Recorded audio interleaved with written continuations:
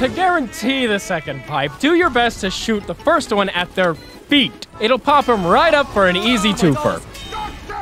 Okay, Heavy, are you sure you want to play this game? This doesn't tend to work out for you.